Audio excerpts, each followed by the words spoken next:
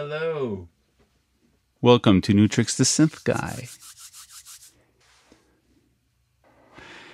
Today we're going to talk about how I use the Tascam Model 16 mixer slash interface and standalone recorder with my iPad.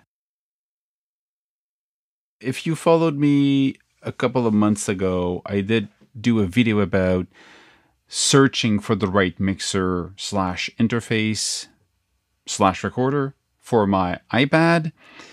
And it should be there somewhere to watch. I decided to go with the Model 16 from Tascam. One of the reason that I went with this is that the 16 Model 16 is one of the few mixer that is actually a full interface. What I mean by that is, in this case, we've got 16 inputs into the computer and 14 outputs going out of your computer back into the mixer. So I can actually mix and match uh, playback from some hardware device with what they call, uh, let's move this here so you see better. So what this means is I have the option here of going live, which is live from a synthesizer coming right into it or a microphone, whatever it is. The second one is PC playback, so it's going to be coming back from a USB. And the last one is MTR, which is the multi-track recorder, which is the internal of the machine can actually record your 14 tracks plus the mix. That's why they call it 16 because it's 14 tracks plus the mix out inside the internal recorder, which is a Portastudio recorder. So there is already a, you know, multi-track in this. So this is the full standalone device. It's really something that I find really interesting, and that's why I got to take this one. Now, of course, I can just play back my stuff, record straight into this, take the SD card out, and then use it somewhere else. My real question is how does it live with the iPad apps? Does it seize it the way it should be? Because in my view, it should be simple. You should be able to plug it in and have your hardware be seen by the software and just go, I got 16 in, I got 16 out, just make it work. It's not exactly like that, sadly, because digital audio and the iOS doesn't have the flexibility or it doesn't seem to be as easy to program as you see on Mac and PC. And I don't know how easy it is, but it seems to be difficult because some apps are fixed to the sample rate of the hardware. So depending if you've got an iPad Pro or M1 or an old uh, iPad or whatever it is that you have, you might have um, a fixed recording value just because it's linked to that hardware. Of course, when you connect a USB device, it should switch to that, but it's not always the case. And to be very safe about, you know, seeing the hardware, you could actually connect it. Be- you should connect it before you turn on your app. I'll do this test with you guys. I have a gadget. I've got uh, Auria Pro, I've got ZenBeats, I've got Beatmaker 3, I've got Cubasis 3, I've got Nano Studio 2. Honestly, I want to know does it actually work with this? And when I say this, can I see the 16 inputs and the 14 outputs and can I assign it to wherever I want? Because if it happens this way, it means that I can actually use, you know, playback of, I don't know, six different audio track. I see it in my Model 16. I also play back some of the hardware. And I can also take some of the stuff that I send to the mixer through hardware effects like, like you know, my screw circuit flip fuzz here, re-record it back into it. So I could reamp my, or re-distort whatever using what I have, and then send it back in. So this logic is basically just a question of, of I can do this because I've got enough hardware input and outputs to do that. Can I? Does it see it? So what I'll do now is I'm, I'm going to turn on, let's say, Cubasis 3. And a lot of people are using Cubasis 3. Now, does it see it? I'm going to go into Media. I'm going to open... So I've got this playing here. I've got no sound. Oh, and look at the screen here. I've got USB FS mismatch, basically frequency sampling. So it's uh, sampling rate, which is mis mismatch. So I'm going to enter. Uh, what I have here, it's at 44.1, 16 bits. I'm going to go see in my Cubasis settings. Am I at the right setting? Uh, audio. There's kind of no information about is it what's it's calibrated to. I'm going to turn it off because I did connect after turning on. So now it's here, it's connected. I'm going to turn back on Cubasis 3. I'm going to load this. Does it work now if I press play? It's still mismatch. Enter. Let's actually, I'm gonna, I'm gonna load another session. Now, to understand how the um, Tascam Model 12, uh, Model 16 works, uh, there's no easy way to go into sampling rate and just change it. There's just no way to just go in and just switch. So what you have to do is you have to create songs. And when you create the song, you say that song is 44.1 16 or 44.1 kilohertz 24 bits or 48 uh, kilohertz 16 or 48 kilohertz 24 bits. So I created these four songs. And when I need to switch sample rate and bit rate, I just go in and I go uh, menu, and I go song, and I load, let's say 4816. And I load this. See, right away, I see I've got the signal. It works.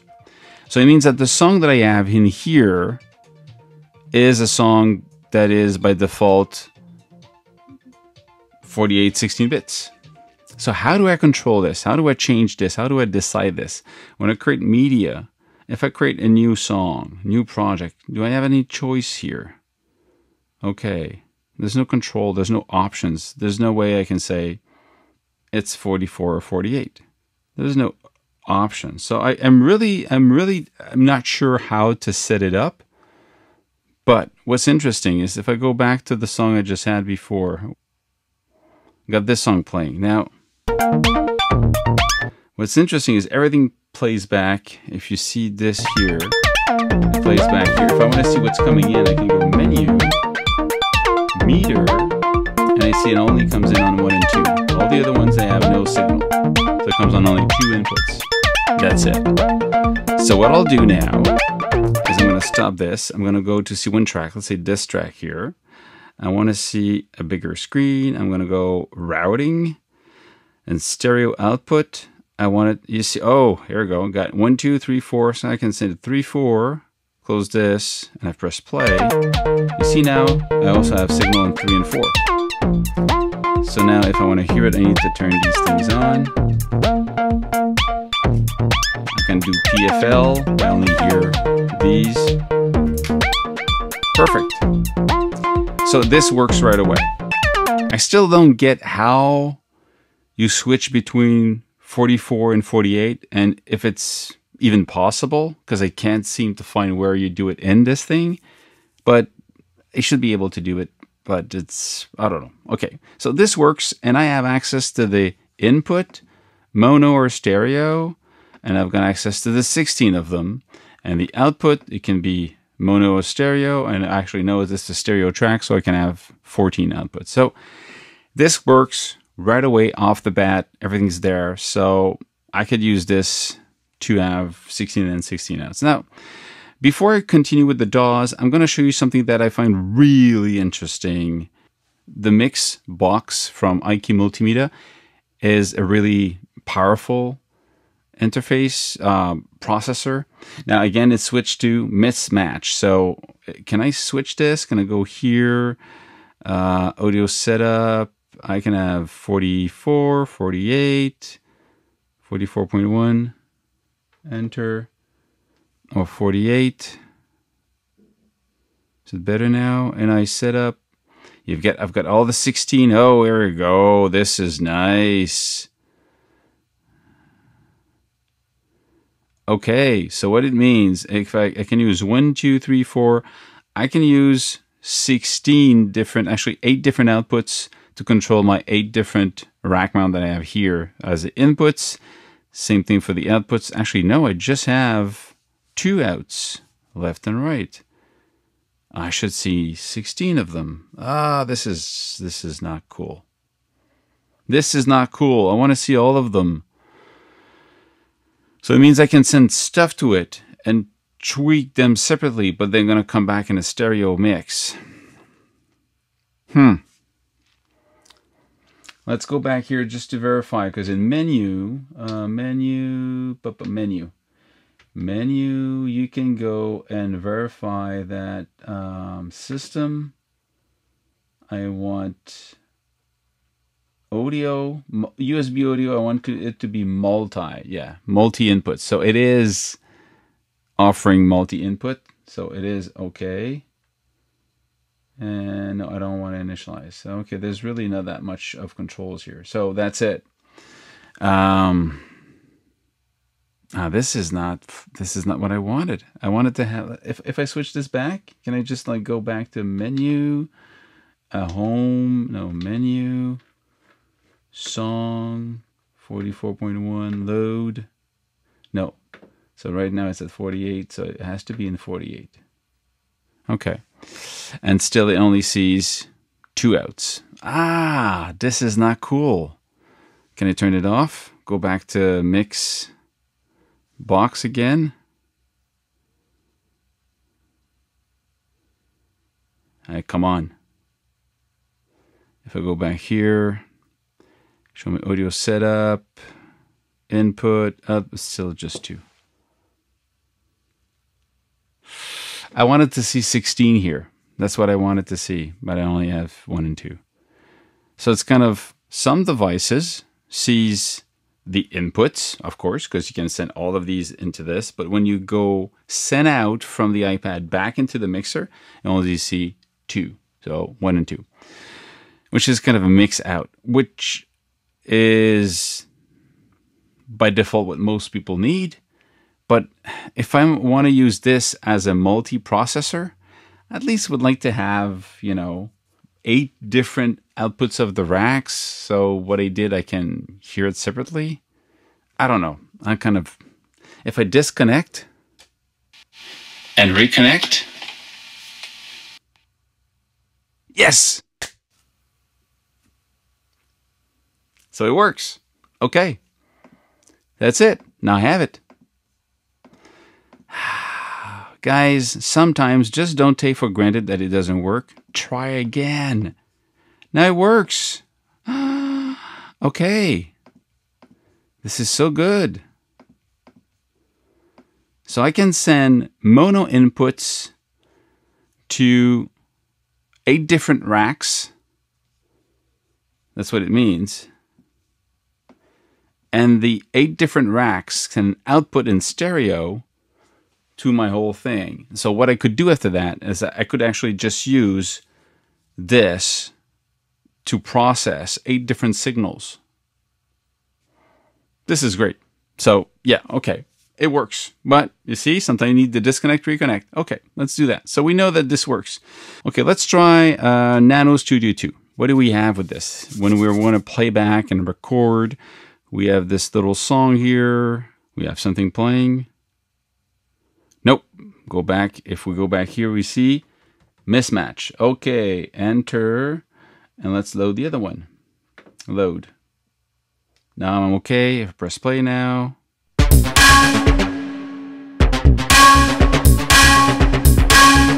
Okay, so what's what's happening? Properties? No. Let's go back to here, this thing audio output, output here. Hmm. I've got uh, MIDI in, Model 16 MIDI, uh, all MIDI key, audio, hardware audio. You see, two channel available. If I disconnect and reconnect, I'm going to try that every time Try to see if they see it. Now it's it sees it. So I can send to the one. Okay, if I press play now. So if I send it to three and four, it works with this one now. It works. So what I'm learning right now is if you don't see it, disconnect, reconnect. In this case, it seems to confirm that you have access to the 16 or 14. Now, see that there's only 14 outs because when you send it back, and actually, yeah, when you send it back, you've got 14. When you send it in to the computer, there's 16 because it's 14 plus the main out. So this also works in and out, 14, 16. This is great. Let's go back now to see uh, ZenBeats. Open this one here.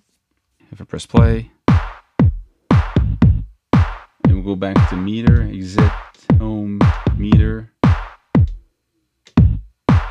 main.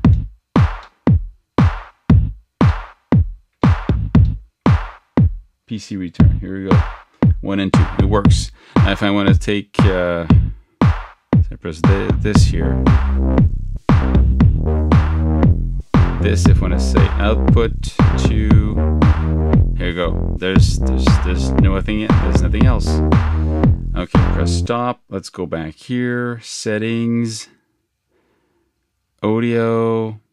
44.1 and I only see I've got all these inputs here but I only have two outputs. Oh this is not good. I'm gonna disconnect and reconnect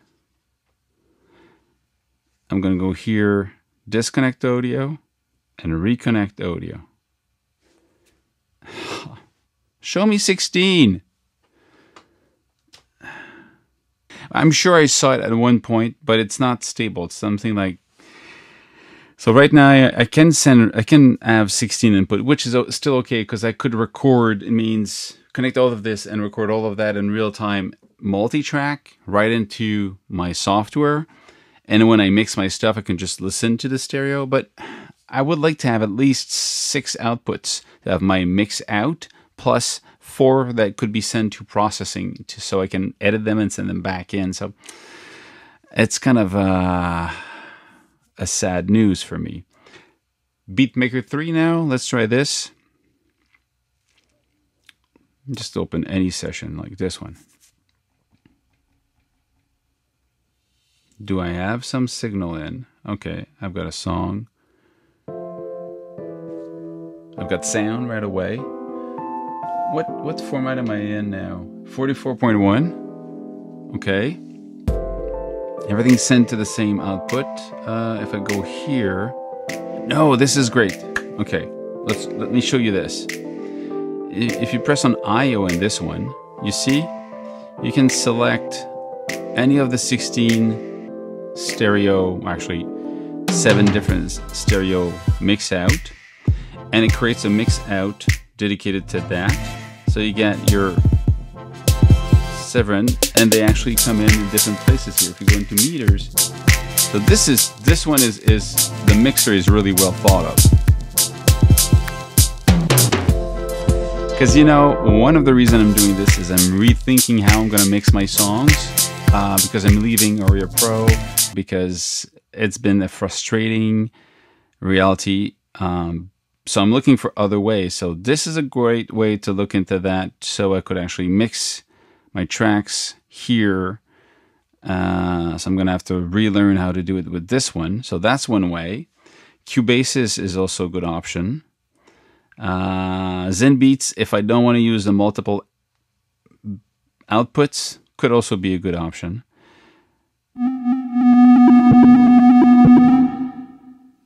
So this is really well thought of to go into this and say, I want to have this to the three and four. I want to have this on the five and six. I want to have this on the seven and eight. And then you just assign them to separate outputs physically.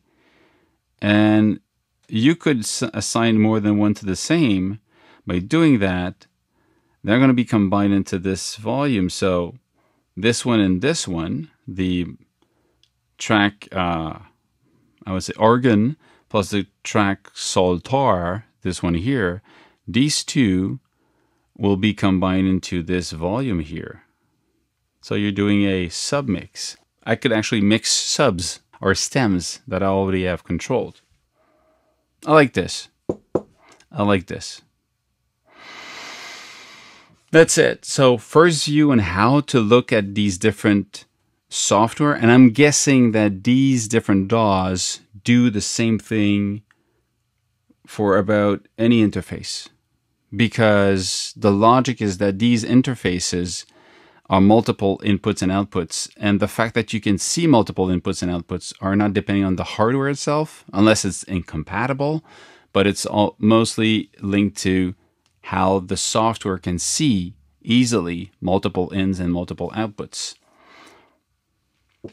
Some of them are really well integrated. I hope this is actually useful and it, you have a better idea of what you can do with the Tascam Model 16.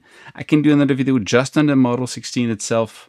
The option you have in there it's pretty powerful and interesting and it's a standalone recorder. So um, you could just like press record and have your all all your 16 tracks recorded to an sd card right here and then you have it. You just can take that and play with that. That's it for today thank for watching. See you soon. Make more music. Cheers